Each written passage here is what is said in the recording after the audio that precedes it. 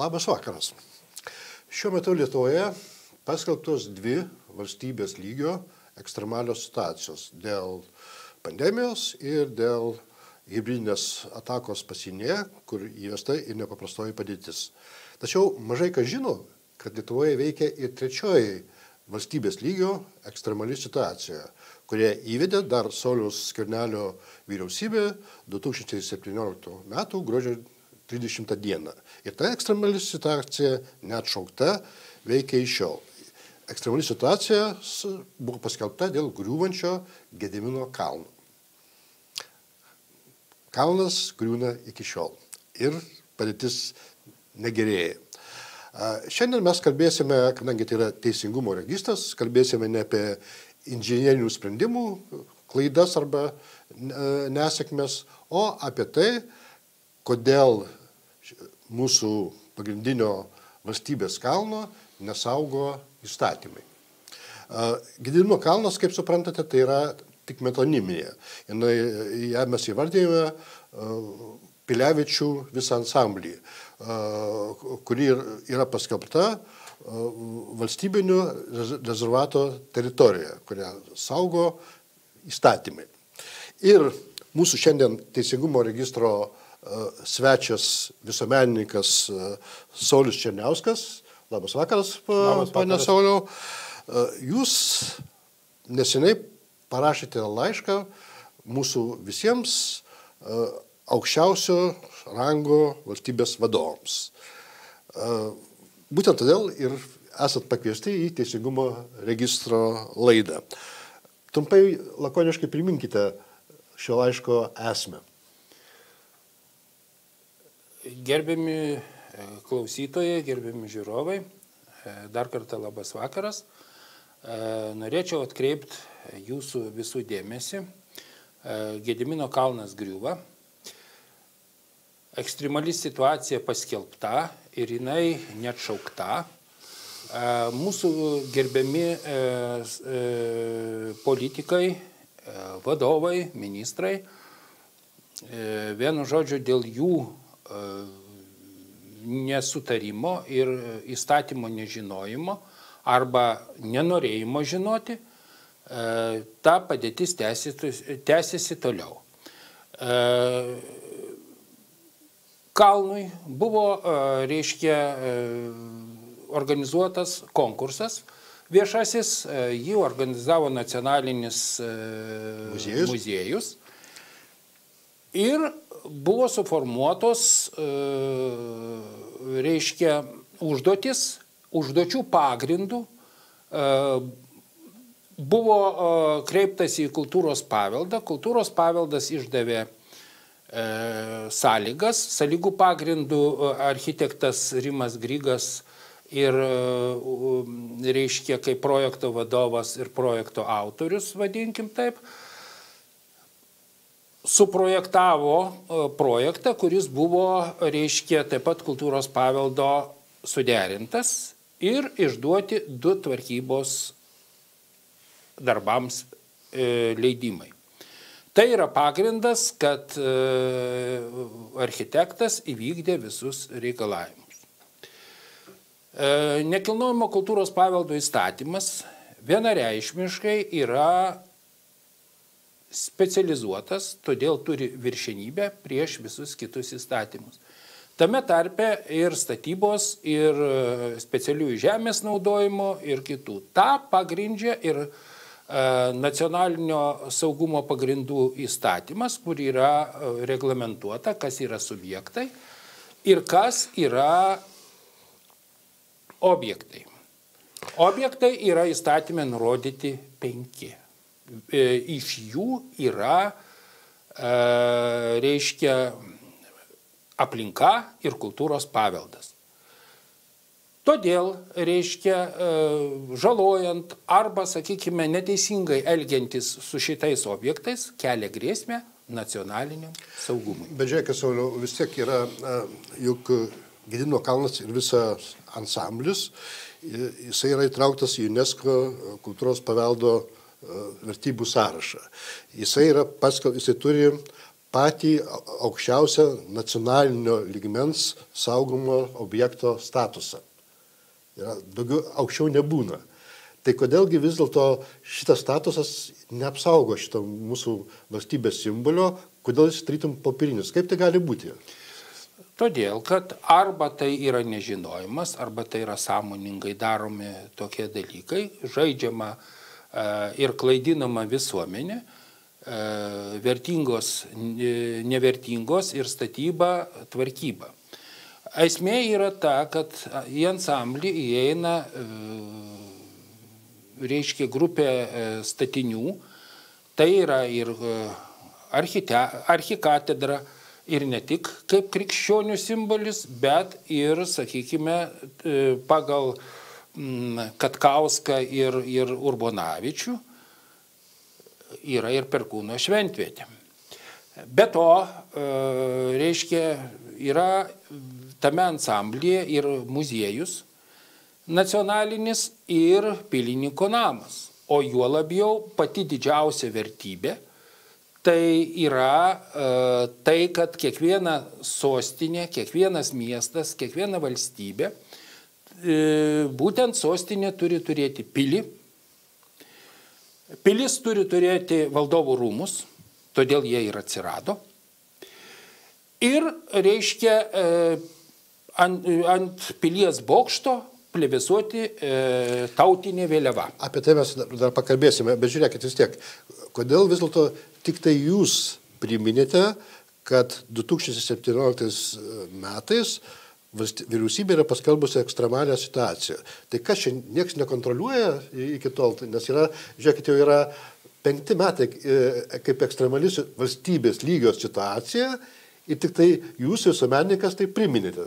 Kaip tai gali būti? Esmė yra tai, kad e, mūsų institucijos, toks kaip kultūros paveldas, e, išduodami tvarkybos darbų leidimą,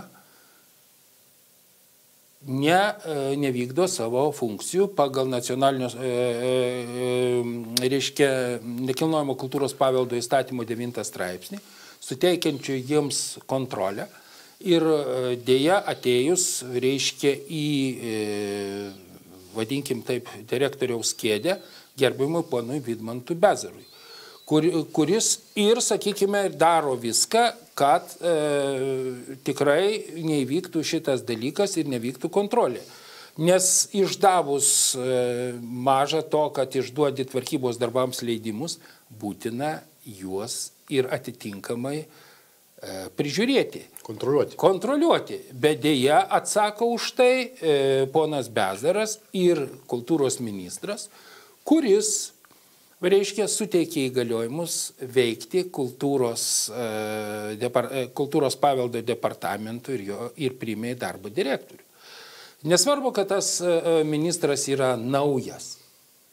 Bet esmė yra tai, kad jis atsako, kas vyko, vyksta ir, ir vyks. Tai yra tokia teisė. Bet žiūrėkit, savo jūs kreipėtės į visus nuo aukščiausios pareigūnus, nuo prezidento, Seimo pirmininkės, premjerės, net e, generalinės prokuroros ir valstybės saugumo departamento direktorių.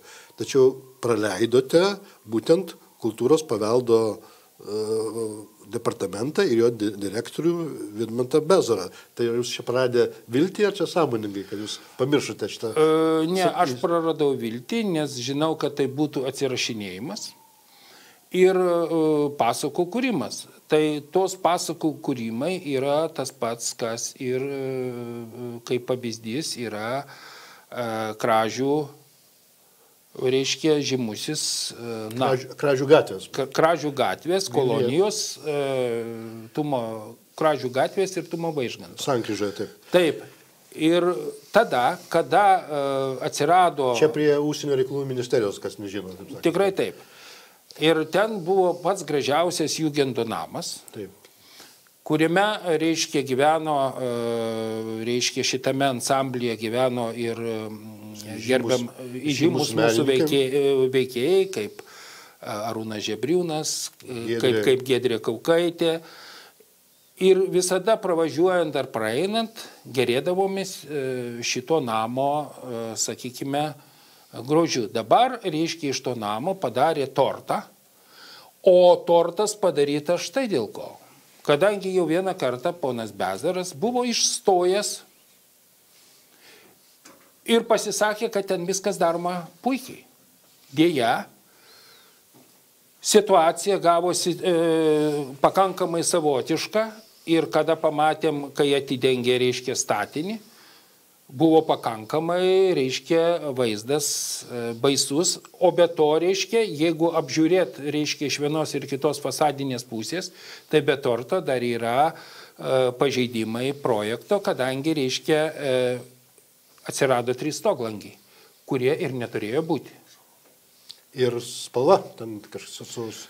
Aš apie spalvą nekalbu, kadangi ten... Irgi labai originali, man atrodo. Tai yra tortas, dar kartą sakau tortas. Ir vienu žodžiu, esmė šito dalyko, kada išduotas buvo tvarkybai leidimas ir dar kada išduotas statybos, statybą leidžiančia leidimas. Tai dvi žinybos Tai yra kaip dvi auklės ir vaikas lieka be galvos. Tai esmė, gerbiami klausytojai, ir yra va, būtent šita, kad e, visgi kiekviena institucija turi užsiimti savo įstatymų leidėjo suteiktom funkcijom. Tai yra e, pagal nekilnojimo kultūros paveldo e, reiškia įstatymą yra veikia kultūros ministerija, žinyba, e, kultūros ministerijos ir jų e, pavaldžios žinybos ir e, aplinkos ministerija pagal, reiškia, jau bendrųjų normų, reiškia, įstatymą, kuris neturi viršenybės. A, a, aš taip, jūs ir patys žinot, ir visi žino, kaip sunku yra priduoti baigtą objektą, pastatytą arba remontuotą, ypač šiais laikais. Ir aš, kadangi aš ten pat gyvenu, tai aš vis praeidamas pažiūrėdavau, kas šitą beprotybę padarė ir kaip ją galėjo priimti. Aš šneku apie kražių šitą sugadintą namą, taip sakant. E, vienas dalykas. Kas, kas jį priėmė šitą, šitą namą? E, vienas dalykas jo niekas dar nepriėmė, bet e, mano, sakykime, pamokomis ir gilių įsitikinimu tas, kas yra padaryta ir ką šneka, teigia visuomeniai gerbiamas ponas Bezaras, tai netitinka tikrovės, kadangi reiškia kalba apie tai, kad čia yra vienu žodžiu nudažyta ir kad tai nuplaus sniegas ir lietus.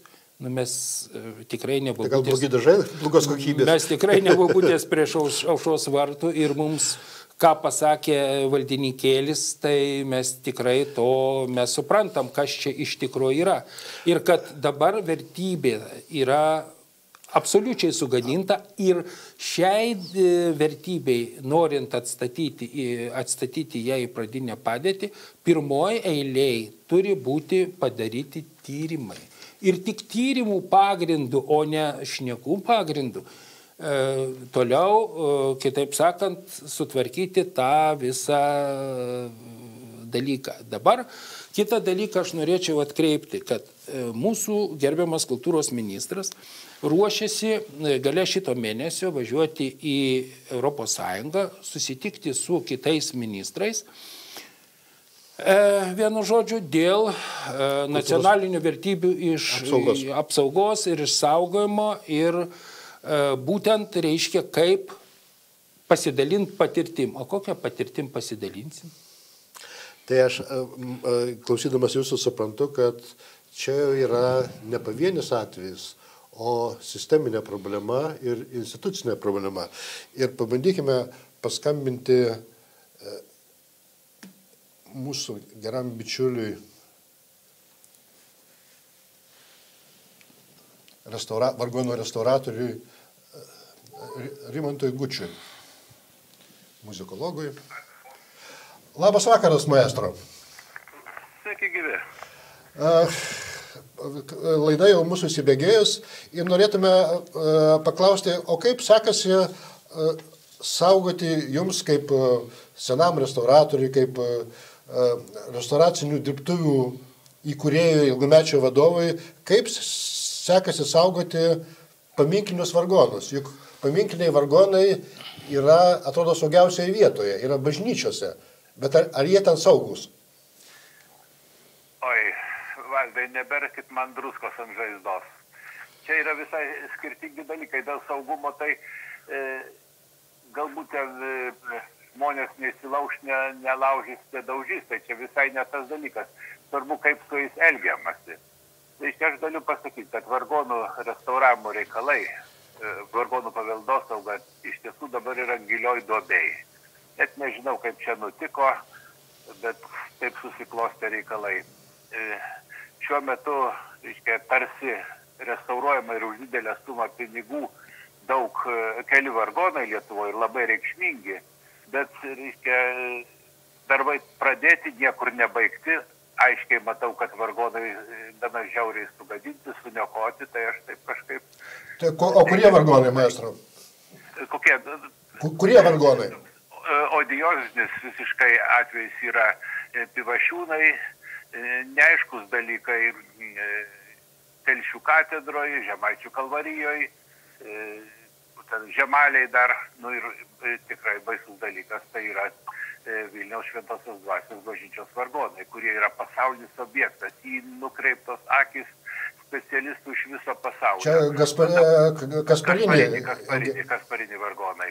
O dabar kas su jais daroma, tai reiškia, jie išvežti, neva restauruoti, jie uždaryti ir, ir prieimo nėra kažkoks karinis režiminis objektas čia neseniai buvo, man tai ten jau iš viso neleidžia prieiti ir kalbėti, net ne, neturėčiau apie tai. Reiškia, aš nemačiau, kas ten daroma, negaliu pažiūrėti, nors tiesą pasakius su tais vargonais. Bet, bet žiūrėkit, maestro, jūs buvote iniciatorius, kuris, žodžiu, būtent organizavote Lietuvos ir Europos žymiausių vargonų restauravimo ir restauratorių uh, ryšius su Lietuva ir net įsikviesdavo žymiausius e, Europos restauratorius. Bet dabar keista, kai atam, tapom ES Lietuva nare, tie ryšiai susilpnėjo arba nutrūko. Tai ko čia bijomasi? Čia bijomasi konkurencijos ar slepiam savo nekompetenciją? nežinau, visko po truputį. Aš e, jum leidus truputėlį iš toliau. Reiškia, dabar va, šiemet jau beveik 50 metų, kai aš to pradėjau dirbti, visą laiką ieškojau ryšių su specialistais užsieniai. E, sovietiniais laikais gastrolitais vargonininkai buvo puikūs specialistai, atvažiavę daug iš jų išmokau. O po kovo 11, taigi dar, dar tankai stovėjo, kaip, kaip čia atvažiavo. E, departamentas, tuomet departamentas tais dalykais rūpinosi, pakvietė specialistus ir Švedija atsiuntė savo geriausius specialistus e, e, padėti mums organizuoti e, vargonų paveldosaugos reikalus. Dar aš prisimenu, kad aš pirmiausia juos nuvežiau pasižiūrėti prie šiaurės miestelio tankus, dar tebe esančius tenai. Na va, ir paskui vienas iš jų, Joran Grant, toks mielas žmogus, specialiai lietuvių kalbą išmoko, kad galėtų mums daugiau padėti bendrauti. Ir paskui, kaip neseniai gavau laišką įskundėsi, nu, išmokau, bet e, e, faktiškai departamentas nu, sabotavo. Reiškia, pradžioje, kol, kol tos programos buvo, reiškia, ministerija dalyvavo, taigi buvom pasirašę puikią e, bendradarbiavimo sutartį. Vilniui dirbo Europos e, žymiausi vargonų paveldosaugos specialistai mokė, darė seminarus atvirus, viskas vyko. Nu, bet paskui e, tie darbai nutrūko dėl e, finansinės krizės 2008 metų, kad iš vakarų finansavimas nutrūko, o departamentas e, visiškai nesidomėjo. A, tai e, juk vargonai tai pirmiausia yra ir bažnyčios nusavybė, bet kartu ir kultūros paveldo paminklai, kuriuos saugo, kuriuos saugo valstybė. Tai kuri vis dėlto valstybės institucija yra, yra tiesiogiai atsakinga už jų priežiūrą, aps, apsaugą ir restauravimą. Jūs labai giliai dūsojat, maestra. Kultūros paveldo departamentas. Aha. Čia, čia, čia nieko kito nėra, vienas. Nu, kultūros ministerija, nu, tai bet taip. departamentas yra ministerijos padalinys. Taip, taip, žinoma. Aha. Ir tada e, pabaigai maestro filosofinis klausimas. E, kas pirmiau višta ar kiaušinis? Tai čia aš kitaip persukau klausimą. E, kas čia pirmiau? Ar nekompetencija ar korupcija? netaktiškas klausimas. Bet jį reikia atsakyti.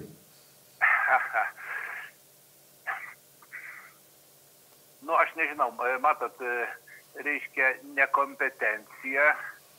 E, atim, nu, užgesina atsakomybės jausmą. Taip? Taip. Jeigu neišmanai, neįdomu, nereikia, nu tai kas tada lieka? Tada, tada lieka gauti naudos, aš taip įsivaizduoju. E, Dėkoju, maestro, ir linkiu stiprybės jums ginant e, paminklinius vargonus mūsų, nes tai yra Tai labai gražios frazės, bet reiškia, nu kaip nors, kaip nors. kaip, bendrom pastangom. Ačiū Jums. Iki, iki, iki. Ačiū visą gerą. Toks pasklausimas filosofinis pusiau, jokiais, kas pirmiau višta ar kiaušinis, kas čia, ar, ar pirmiau buvo nekompetencija ir korupcija, ar atvirkščiai? Atsakysiu šitą klausimą ir tas, ir tas. Patiko, čia matot, kai e, į svetimą daržą Taip. nori įlysti kaimyno ošką ir nugriaužia kopūstą. Ir e, to savininko, kurio nugriaužė kopūstą, sako, vai kaip gerai. Tai va čia, va, gerbiami klausytojai, yra pagrindinė esmė. Jeigu, sakykime, reiškia e, nekilnojamo kultūros paveldo specializuotas įstatymas sukurtas vertybių autentiškumo. Tikrai geras, autentiškumo tikrai geras įstatymas. Tikrai geras įstatymas, e, sukurtas, reiškia, e, ne šiaip savo. Autentiškumui vertybių išsaugomų nekilnojamo kultūros paveldo. Tai šitoje dalyje e, nori viršenybę kažkodėl tai imti ir atiduoti e, aplinkos ministerijai, bet ką tada darys kultūros ministerija? Liks be darbo? Ir tas įstatymas, bet būtent keista bendrųjų normų įstatymą nenori keisti. Bet kažkodėl tai nori keisti. Išskirtinai įstatymą, kuris, e, reiškia, būtent atsirado ne, ne šiaip savo, o pasirašant ES sutartį, kada kiekvienai valstybei buvo suteikta teisė e, rūpintis, e, reiškia, savo nacionaliniam vertybėm ir už kurias turim atsiskaityti. Dabar atėjo laikas, šeši mėnesiai praėjo, kai kultūros ministras turi e, UNESCO atsiskaityti, ką padarė e, su tom į UNESCO paveldo Sąrašą įtrauktom sąrašą, vertybėm. įtrauktom vertybėm. Tai ką, meluos? Tai va, tai žiūrėkit, Sauliu, iš tikrųjų gerų įstatymų netrūksta Lietuvoje. Ne. Bet trūksta, kas juos vykdo. Tai žiūrėkit vis dėlto, kaip čia atsitiko, kad e, per 30 metų į tokius strateginius kultūros ir kultūros e, paveldo postus pateko atsitiktiniai žmonės, arba, jie, arba abejingi žmonės kultūrai. Tarkime, na, pavyzdžiui, Nacionalinio muziejaus, kuris ir rūpinasi šito Pi- Pilevičio ansamblio postą, e, atsisėdo Rūta Kačkutė, e, Dalios Grybauskaitės patarėja e, prezidentas, kuri tikrai buvo tolimiausia kultūrai. Gal nebe jos paramos iš aplinkos ministerijos visiškai svetimas kultūrai žmogus e, užėmė labai svarbų kultūros paveldo direktoriaus postą, aš neku apie e, Vidmantą Bezarą. Tai kaip čia yra, kad e, panašus traukia panašų į save, kad sus, tiek vienoje vietoje susikoncentruoja nekompetentingų arba neatsakingų žmonių. įtaisom uh, savo asmenį, čia uh, sena, sena taisyklė kaip uh, kamelijos, įtaisoma savo asmenį aplinkos ministerijos reiškia statytinį į kultūros uh, ministerijos pavaldžią organizaciją, kuris visiškai nesigaudo apie kultūros vertybės. Aš tik pabrėžiu, kad aplinkos ministerija viena labiausiai korumpuotų ministerijų yra. E, Buvo ir. Nebejoju. Ir e, ge- e, dėja, gerbiamas Bezaras e, šiai dienai turi vardą kaip Jonėlės dvaro krikštatėvis kur e, gerbiamas ministras net trečiokas yra atitinkamai e, buvo pakištas ir, ir tai girdėjau vieš, vieš, viešoje erdvėje. Tai buvo netgi, sakykime, atitinkami žurnalistai pasisakė apie tai. Dabar, reiškia, kas liečia poną Bezarą, aš noriu atkreipdėmėsi, koks e, žmogus yra, e, vadovauja, reiškia, kultūros paveldui, kuris net leido savo, kada e, buvo nagrinėjimas Lukiškių aikštės klausimas ir kad nuo 1999 metų, reiškia, yra Seimo nutarimu paskelbta memorialinis statusas, vadinasi, pasakė, kad ten nevertybė. Deja, tai atitink... kuris, tai pasakė? Viešai, per televiziją. Ir pats asmeniškai esu girdėjęs ir esu paklaikęs šitokių dalykų. Ir tada atitinkamai analogišką viešą laišką parašiau vėl vis, visoms tomis institucijoms ir paprašiau vieno dalyko. Gerbimieji, pradėkim vykdyti teisės aktus, vykdyti, o ne interpretuoti. Tai va čia yra pats pagrindinis dalykas, o iš esmės už to slepiasi daug kitų dalykų. Pavyzdžiui, šnekėjau penktadienį su vienu politiku, nes neatskleisiu jo, sakykime, nei vardo, nei pavardės.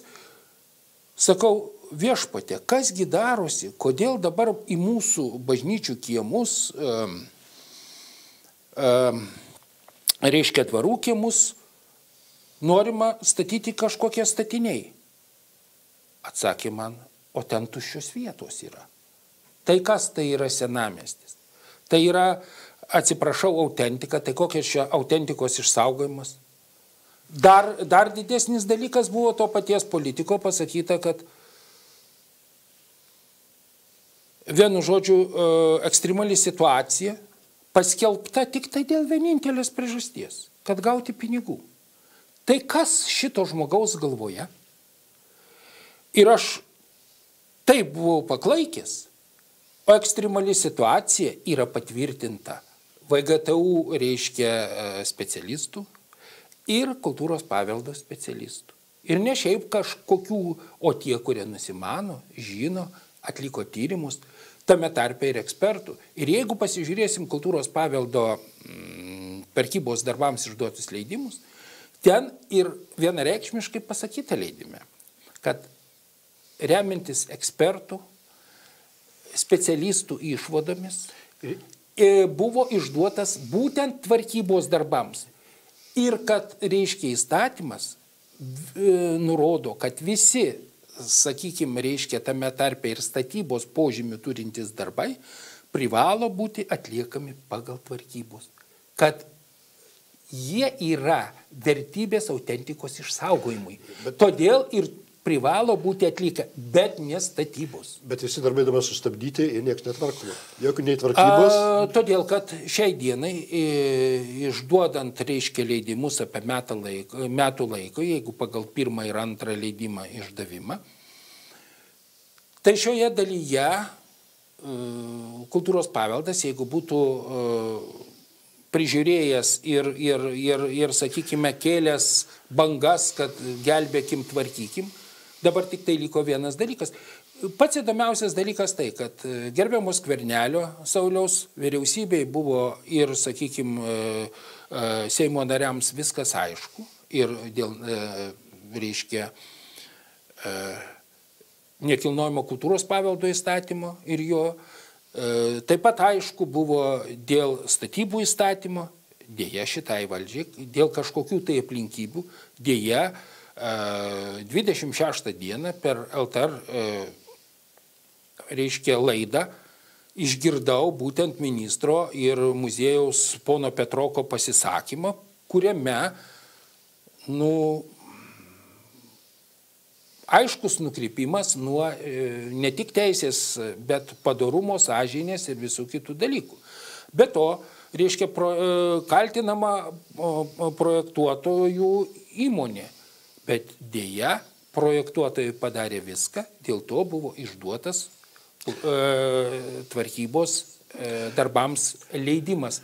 ir įrodinėti daugiau. Dabar, kadangi yra paduota į teismą, į teismą yra paduota vienu reikalavimu, mano žiniomis, aš įstudijavau šitą visą dalyką, e, e, tik kad užtinkamai atliktą darbą, kaip įvardyje, reiškia, mūsų konstitucija būtų tinkamai atlyginta. Tai taip, tai žiūrėkime, tai vis dėlto vis tiek taip mus e, visas mūsų kartas, taip pat jūsų, taip pat mano ir ankstesnės, ir, ir, ir vėlesnės, lydi visuomet, e, lydėdavo nuo pat vaikystės tas e, didingas, romantiškas Gedimino kalno ir pilies vaizdas. Apaugęs medžiais, gražus, vidury pilis, vėliava. Dabargi kas likę yra tokia nuplikusi vargana kalva faktiškai. E, ar tai vis dėlto pasiekmė galim kalti gamta, tai gamta, tai ar čia vis dėlto iš žmogaus ir mūsų valdžios veiklos rezultatas? Aš manau, kad e, nesuvokimas, nesupratimas ir nenorėjimas suprasti priveda prie tokių dalykų. Ar reikėjo tos medžius nupjauti? Jeigu paklaustų manęs kaip inžinieriaus nuomonė, aš pasakyčiau, kad ne. Šaknis vis, visais laikais sustiprindavo, reiškia, kokios be būdavo. Mesgi ten žaisdavom vaikai, mano senelis prižiūrėjo kortus, sakykime, dirbo išėjęs į pensiją, į, dabar ten purelio, aš taip suprantu, vardo klubas. E, vienu žodžiu, Tai gal gali... buvo, buvo medžiai, buvo, buvo grožis, bet tos, tos grožius dėja, sakykime, man atrodo, kad visgi dėl nežinojimo, nekompetencijos ir e, darbo įvaizdžio sukūrimo. Būtent įvaizdžio. Imi, imitacijos. Imitacijos darbo. Taip. Taip, taip. bet e, ar galima sakyti, kad Lietuvos gyrių ir miškų naikinimas prasidėjo nuo Gedivino kalno?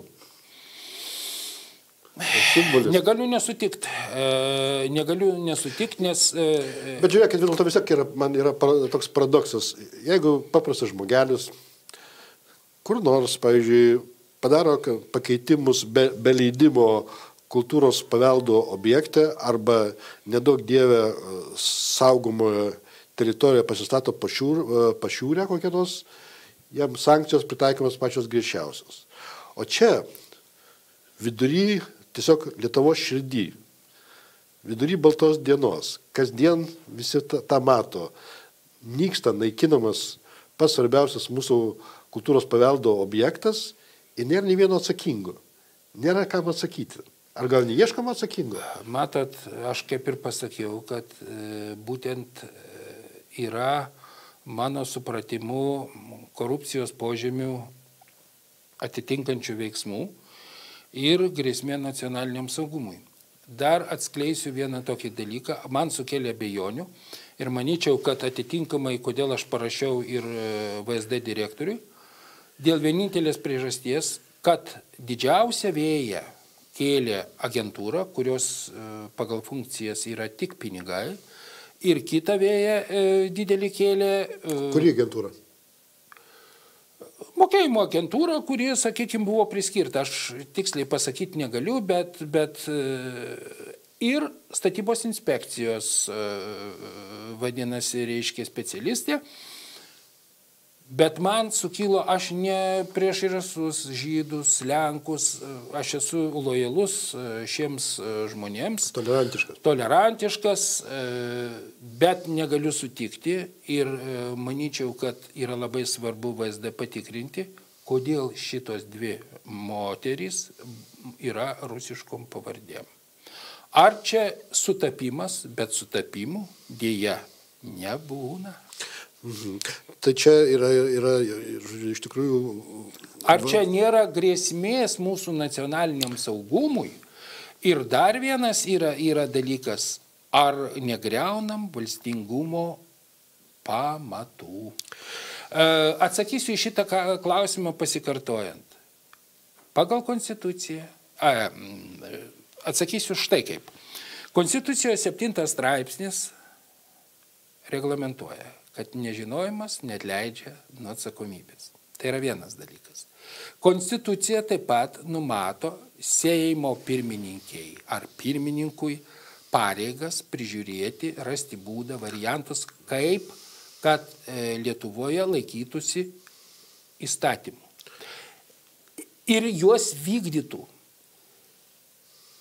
Priešingų atveju sistema neveikia. Ministrės pirmininkės yra tai, kad kabinete, reiškia, e, kabinetas vykdytų jiems įstatymo leidėjo suteiktas funkcijas ir taip pat įstatymus. Bet dėja šito taip pat nėra. Mes šiandien viską nuleidžiam, nuleidžiam, reiškia, ant kažkokios pandemijos. Aš suprantu, kad tai yra labai rimtas dalykas. Bet nepamirškim, kad e, be simbolikos, be, e, Taip. sakykime, valstybingumo pamatų, kalno ir e, pilies, e, archikatedros, e, valdovų rūmų mūsų valstybės valstybingumas suprastėja. Dar daugiau pas, atskleisiu, reiškia tokį mano pastebėjimą, kad Minskas neturi pilies. Tai va, bet... ir, ir, ir, ir kyla toks klausimas, kodėl dabar vat, vyksta taip ar kitaip. O mes turim. Ir todėl didžiuokimės, nors Minskas, atkreipsiu dėmesį, e, kokia bebūtų ta Baltarusija, lietuviškas pilis, būtent lietuviškas Taip, pilis, restauravo. Gerai, blogai. Žiūrėkite, Vilnius e, pilių valstybinės rezervato teritorija, jinai yra, yra taip pat yra ir, ir į teisės aktuose įrašyta, kad, kad yra daugybė yra saugomų vertybių nuo archeologinė, architektūrinė, landšaftinė, e, archeologinė, e, istorinė ir kitokios yra. Ir ten iš tikrųjų yra, e, irgi daugelio kartų tai buvo tiesiog istorijos, yra tiesiog istorijos įsikūnymas ir mūsų patriotizmo šaltinis. Ir dabar, man atrodo, kad, kad šita pilis yra, nefunkcionuoja, jinai neveikia, jinai yra, na, tiesiog yra praradusi savo savo. E, iš žiniasklaidos girdėjau, kad kažkokia tai dalis bus, sakykime, kažkokia dalis funkcionuos. Bet ar tai funkcionuoja šiai dienai tai, ar nefunkcionuoja, bet, aš pasakyti negaliu. Bet tai negali valstybė taip funkcionuoti ir nefunkcionuoti. Čia yra, yra Deja, e, mūsų valstybėje viskas galima. Kadangi e, pasakysiu taip, kad e, aš turiu 63 pilnus, einu į 64 ir atsakau į šitą dalyką taip, kad prisižiūrėjau daug visokio, visokių dalykų, tame tarpe ir labai negražių ir labai, sakykime, šitoj daly, nu, negerų kurie, reiškia, šiai mūsų vienintelis dalykas, kurį aš, sakykime, prašyčiau ir prašyčiau mūsų valdžios atstovų, kad laikytųsi įstatymų ir kad pradėtų veikti mūsų mylimoje valstybėje, mūsų Lietuvoje, reiškia sistema. Nes sistema šiai dienai neveikia.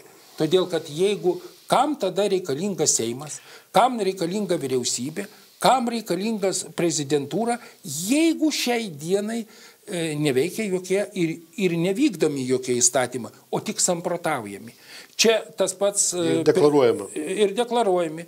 Ir priminsiu tą patį dėl uh, Lūkiškių aikštės, kur antrą kartą buvo skelbiamas memorialinis statusas. Tai jau tada ir, ir dėja, reiškia viešai tiek, sakykime, mūsų patys žymiausi valdantieji pasisakė, kad reikia diskutuoti.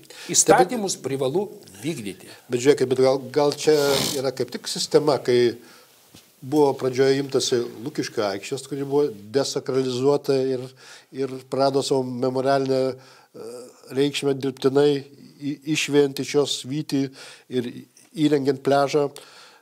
Čia buvo, taip sakant, čia ta visuomenė pratylėjo visą kitą ir dabar imtasi Gedimino kalnų. Atsakysiu šitą klausimą taip, aš tikrai netilėjau ir rašiau. Rašiau, e, gavau formalius atsakymus, e, vienu žodžiu, bet e, dėja, pats baisiausias dalykas yra tas, kad buvo nuspręsta, kad panauda dėl Lukiškių aikštės bus atiduota kitai, sakykime, institucijai, bet dėja atidavė ją vėl pagal panaudą prižiūrėti Vilniaus miesto savivaldybė. Ta, kuri prasikalta. Va čia va ir yra siaubas. Ir todėl, reiškia, dar grįžtant prie, reiškia, Kražių gatvės viso to ansamblio, situacija namų yra, yra tokia, kad kaip išlindo, reiškia, ta ekstremali padėtis, gerbiamas ministras, kultūros įtraukė į, e, vienu žodžiu, saukantinių objektų registrą. Kai tik tai objektas yra įtraukiamas, tai mūsų teisės aktai teigia štai ką, kad leidimas statybai žaibiškai privalėtų būti panaikintas. Kadangi tai yra išskirtinai tvarkyba. Ir vat, kad nebūtų dviejų, reiškia, auklių vienam vaikui ir vaikas, pasikartosiu, būtų be galvos. Tai va čia va tas ir įvyko ir džiaugimės šito tortu, bet e, kaip ištaisyti šitą dalyką, aš šiai dienai neįsivaizduoju. Ir be tyrimų dar kartą oficialiai pareiškiu, nieko čia nebus. Ir jeigu tik tai bus iš tuščio į keurą, atsirašinėjama ir tuščia žodžiavimą, e, tuščia žodžiaujama ir klaidinami, reiškia, mūsų, e, kitaip sakant, piliečiai. Ir, ir, ir maitinami visokiamis būtomis, nebūtomis šnekomis. Patikėkit, kad taip daryti nepriklauso ir tai yra uh, Kitaip sakant, grėsmė nacionaliniam saugumui. Bet, bet čia, tęsiant apie sistemą, tai, tai žiūrėkit, ar negalima žiūrėti tokios loginės grandinės. Iš pradžių e, Gedinimo kalnas buvo, tai pavadinkime, iš dalies nupolitintas. E, ta prasme, kad e, na, iš Gedinimo kalno dingo memorialinė lenta, kuri priminė visiems lankytojams, kad Štai 1919 m. sausio 1 dieną e, Vilniaus komendantas Lietuvos savanoris numeris e, vienas e, Kazys Škirpa su būrius savanorių iškėlė čia vėliavą. Po to ta dingo lenta. Po to buvo panaikinta Kazio Škirpos alėja prarado, pirmiausia, buvo politinė prasme sunaikinta šito kaimo, šito kalno. O dabar jau atėjo eilė jį sunaikinti ir fiziškai, kad kadangi, na, ta eilinis kalnas. Tai ir aplinkui darosi tas pats, o kaip su uh, generolo Vanago lenta, kaip šitą, kas drįso, kokia valstybė pasaulio drįsta savo tautos didvyrius išniekinti. Ir šiandien mes plojam katučių kaip... Jono Noreikos randa. Tikrai taip. Ir, ir e, reiškia, kaip e, drįsta, e, sakykime, reiškia šitoj daly elgtis šitokiais dalykais su mūsų tautos didvyriais. Taigi tie, kurie dabar, sakykime, nu, prie valdžios, patikėkit, kad tikrai negynė tautos laisvės ir nepriklausomybės. Ir negins niekada. E, ir manyčiau, vienu žodžiu, negins, nes mūsų didvyriai pamažu išeina ir jaunimui formuojama kitos mintis, kiti dalykai. Tai tokie kaip Petras Cizikas, kaip kunigas Varinskas, kaip kiti, sakykime, disidentai, kurie, nėra, kurie tikrai... Sadūnaitė, žodžiu, kiti. Žiūrėkite, e, e, ponio Sauliau, jūs čia palėtė vis dėlto vieną tokį svarbų dalyką, ne tik tai dėl Gedino pilies, bet ir apskaitai dėl kultūros paveldo, kai jūs, jūs pas, užsiminėte, taip, žodžiu, kad įvyk, vyksta tarytum mainai tarp kultūros ministerijos ir aplinkos ministerijos, kai E, iš kultūros paveldo departamento kai kurie objektai tarytum per, pereina į uh, uh, teritorijų planavimo ir statybos inspekcijos žinion, kai jau pradeda galioti ne ne, nekilnojimo kultūros paveldo apsaugos įstatymas, o statybos įstatymas. Tai ar čia vis dėlto, jūs truputį užsimėte apie tuščias atmes ir kiemus bažnyčio, ar čia nėra vis dėlto, kad čia vis dėlto ties, tiesia ranką nekilnojamo turto plėtotojai vadinami, statybininkai? Tikrai taip. Kaip ir tada Gedino pilis irgi perės statybininkams. Tikrai taip. Ir e, dar, e, e, dar šitoje dalyje yra toks, nu, kaip pasakyti, mano pastebėjimas, analizė, kuri yra surinkta, pasirodo, kad ne vienas statybos inspekcijos specialistas neturi kultūros paveldo atestato. Atestacijos, taip. A, mūsų valstybėje yra e, suformuota tokia politika, teisinga, kad specialistas, kuris e, prižiūri, atlieka, e, turėtų profesinių žinių vertinimą ir išlaikytų egzaminą, ir sekantis teisinių žinių. Ir tik tai tada išduodamas kultūros paveldo, tai yra anksčiau išduodavo kultūros paveldo departamentas, tame tarpe ir juridiniam ir fiziniam, dabar dėja šitoj daly tik fiziniams asmenims išduoda kultūros ministerija.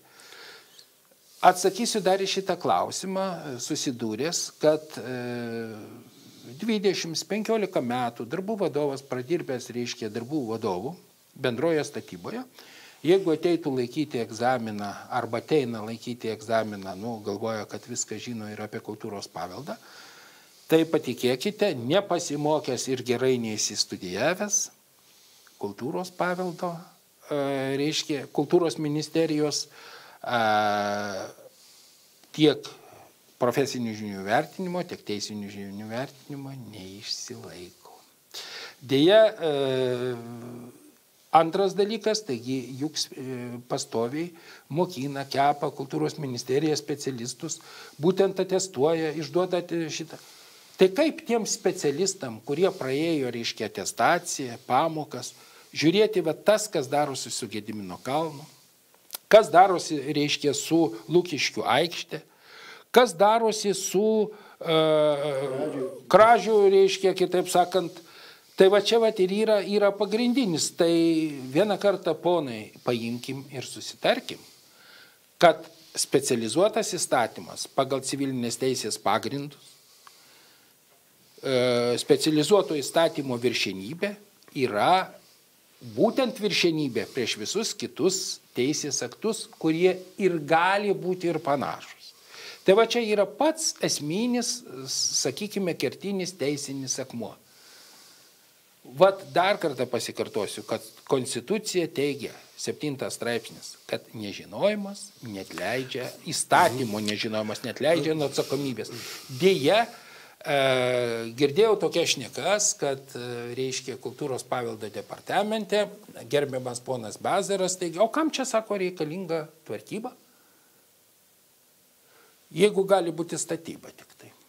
Taip, tai e, šitoje dalyje dėja girdėjau, girdėjau, reiškia, tokias šnekas iš būtent, nepasakysiu kas, kad, kad jie nebūtų nuskriausti iš kultūros paveldo departamento. Tai žiūrėkit, e visi taip jau pripratome, kad visiškai nepastebimai, bet jau prieš daugelį metų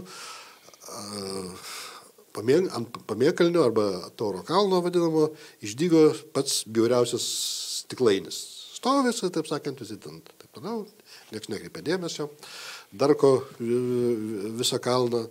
Dabar jau vėlgi, vėlgi visose vadovėliuose apie, apie istorijos apie Vilnių visuomet didžiuodavomės vaizdu misionierių bažnyčia ir vienuolynas.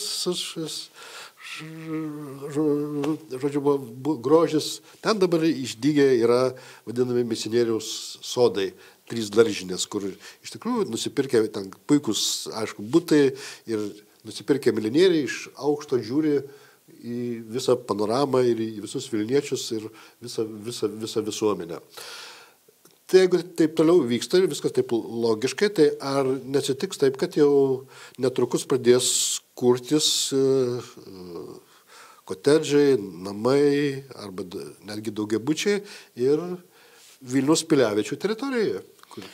E, manau, kad jeigu nebus sustabdyta ir pradėta vykdyti, reiškia, įstatymų ir toliau tęsis va šitie žaidimai e, statyba tvarkyba ir e, ponai valdantieji, sakykime, nesustos šitoj daly, tai patikėkite tikrai, kad o jie nenori sustoti, nes mano nuomonė, tie, kurie atėjo į valdžią, ir prieėjo prie valdžios, jie turi savo užduotis. Čia mano nuomonė. Tu, tu, tu, ir, ir, ir toliau turi, reiškia... turi tik, tik vieną kadenciją, nori per vieną kadenciją užsitikrinti šviesą ateitį. Taip, ir čia norima, sakykime, tiesiai šviesiai visus šitos dalykus sudėti vat, būtent taip, kad ateityje būtų, sakykime, įvykdyti. Čia tas, tas pats vyksta ir su aplinkos ministerijos SPC kur, sakykime, kiša juridiniams as, as, asmenims, reiškia kultūros um, paveldą ir be paveldo, reiškia, nepratęsia atestatų galiojimo. E, ta atlieka kas kiekvienais metais, anksčiau būdavo kas penkis metus, tikrindavo juridinius asmenys, e, sakykime, reiškia, e, kas liečia kultūros paveldą, e, išduodavo leidimus ir juridiniam, ir, ir, ir fiziniam. E, Patikrindavo objektus, čia ir gerbiama Aušra Racevičinė, ir Rasa Vasiliauskinė važiuodavo, e, turėdavo šitą, dabar šito dalyko dėja nėra. Ir e, tame tarpe toj pačioj SPC nėra ne vieno specialisto, eksperto, kuris turėtų kultūros ministerijos atestatą. Tai vad irgi e, kyla toks nu, savotiškas labai klausimas šitoje dalyje, kodėl šitaip vyksta. Ir dabar, reiškia, e, žinokit, prasidėjo dar didesni dalykai, kad SPC pradėjo masiškai tikrinti ir dirbtinai mažinti SPC atestatų apimtis. Nors prieš tai pasirašo gerbiamas direktorius, reiškia, Ekspertas, specialistas, reiškia, patikrina, ekspertai patikrina, tada komisijoje dar patvirtina, e, direktorius e, pasirašo įsakymą ir po įsakymo pasirašymo dar pasirašo testatą. Dabar, sakykime, nepraėjus metams laiko, dirbtinai norima sumažinti, sutraukti. Tai reiškia dideliems palikti atviras erdves, o šitiems mažiau stovintiems ir kita, kad jie ateitų vergauti. Darbininkų tai nėra. Kad... E, tokia politika, kad dabar yra labai sunku, laba, labai sunku ir atsivežti iš, e, sakykime, kitur, kaip iš Ukrainos, kaip veža taigi per Lenkiją. Mhm. Deja, su, su, randa būdus ir variantus. Tai e, kai nesilaikoma įstatymų, tai gali visko tikėtis, visokių staigmenų. Tai negali būti taip, kad, kad ilgainiui iš tikrųjų net ir Gedino kalno viršuje išdiks kokio nors šiuolaikinio kunigaikščio privati pilis, o galbūt net ir Gedino kalnas kada nors bus ir privatizuotas. Jeigu, Jeigu taip... šitaip bus ir toliau, reiškia, laikomasi, tai nebejoju, kad tas dalykas gali ir įvykti. Tai e, siūlyčiau ir prašau laiku, sakykime, šioje dalyje gerbimų politikų sustokite. Ir pasižiūrėkite, kad e, nekilnojimo kultūros paveldo įstatymas, jo keisti nereikia. Jis yra savo vietoj. Jis atlieka visas funkcijas e, tas, kad būtent iš, išsaugoti kultūros vertybės autentiškumą. Ir jį pakeitus, panaikinus, tokiu atveju atsivertų, reiškia, vat, būtent E, erdvės tiems ponams, kurie nori Gedimino kalne įsirengti savo, savo pilį. Savo apartamentus. Taip. Ir jeigu tos, tas dalykas nesustos, tai yra uh, grėsmė nacionaliniam saugumui. Taip, tai aš norėčiau paklausti e, jūs ir savo kreipimąsi į mūsų aukščiausias valstybės institucijas ir šiandien nekartą minėjote E, nacionalinio, nacionalinio saugumo pagrindų įstatymą, kuris yra vadinamas nacionalinio saugumo Biblija. Ir tai kaip jūsų manimo koreliuoja e, nekilnojamo turto apsaugos įstatymas specialusis su nacionalinio saugumo pagrindų įstatymu? Jis pagrindžia e, nekilnojamo kultūros paveldo įstatymo pagristumą. Ir... Bet dėja, specialiųjų normų statybos įstatymo ten nėra ir e, nei objektų, nei, sakykime, įstatymų. Tai statyba bendra yra statyba, bet tai nėra vertybė. O, sakykime, pagrindinės vertybės pagal nacionalinio saugumo tai yra iš penkių vertybių, tai yra aplinka ir kultūros paveldas. Todėl būkim malonus ir išsaugokim jų būtent autentiškumą. Dar kartą pasikartoju, būtent autentiškumą. Nes jeigu mes to dalyko nepadarysim, tai mūsų vaikams, vaikaičiams e, neturėsim ką parodyti. Nes dabar, kai jau vaikams papasakoji apie, mm, sakykime, senelių, kovas, žygius ir visokius kitokius dalykus, kas e, buvo daroma gudžiais prosovietiniais pro laikais, jiems jau tas nebeįdomu. O pats pagrindinis dalykas pedagogikoje yra ūkdymas. Taip. O vis dėlto, regis, jūs prašote paties paprasčiausio dalyko ir savo kreipimąsi, ir šioje laidoje į mūsų valdžios žmonės, į valstybės institucijas. Būkite žmonės, laikykitės įstatymą ir juos vykdykite. Tikrai ar, ar, argi tai taip sunku? Tikrai taip. Nieko daugiau. Ir mano visi e, laiškai ir dėl Lukiškių aikštės, ir dėl Antavilių dvarvietės 3, ir e, dėl, sakykime, reiškia kražių e, kolonijos ir dėl Gedimino kalno pagrindinio mūsų valstybės simbolikos ir, ir, ir valstybės pagrindo yra būtent išsaugoma autentikos tik tai tada, jeigu laikysimės įstatymų. Visi kiti norai. E, paminėsiu dar tokį dalyką, kad Konstitucijoje labai aiškiai pasakyta, kad ne vienas ministras, ne ministrų kabinetas, netgi Seimas negali, nėra suteikta teisė Konstitucijoje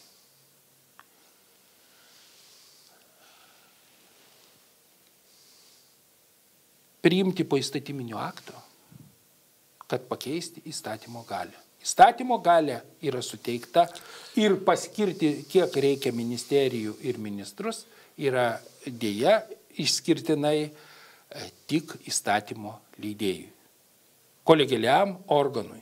Todėl e, kviečiu visus tiek Seimo narius, tiek prezidentą, tiek ministrė pirmininkė, tiek e, Seimo pirmininkė, tiek visas kitas žinybas. Pradėkim laikytis įstatymo. Raskim būdų, kad priversti, sakykime, tie, kurie atėjo naujai. E, atsakysiu į šitą klausimą dar. Pavyzdžiui, Londone e, e, tiek žemėjai, tiek aukštesnėjai parlamento rūmai. Lordų rūmai. Lordų rūmai. E, jeigu ir būna išrinktas asmuo į žem, netgi į žemiausius lordų rūmus, jeigu jis neišlaiko egzaminą, jis tų pareigų neužima. Dėja pas mus daug yra asmenų, kurie prisidengia e, nežinojimu, nežinojimas net leidžia nuo atsakomybės. Vat Konstitucijos mūsų septintas straipsnis. Tai yra įstatymų nežinojimas. O kada sąmoningai tai atliekama, tai jau yra piknaudžiavimas ir grėsmė nacionaliniam saugumui. Tai yra mūsų valstybės, mūsų mylimos valstybės, sakykime, reiškia išniekinimas. Ir, ir būtent, būtent teisinių pamatų. Tai kaip mes atrodysim prieš pasaulį, dar atsakysiu į vieną klausimą, kad ar esam ratifikavę visus kultūros paveldo konvencijos e, dalykus, bet ar mes juos vykdom, ar mes jų laikomės, ar mes norim jų suprasti.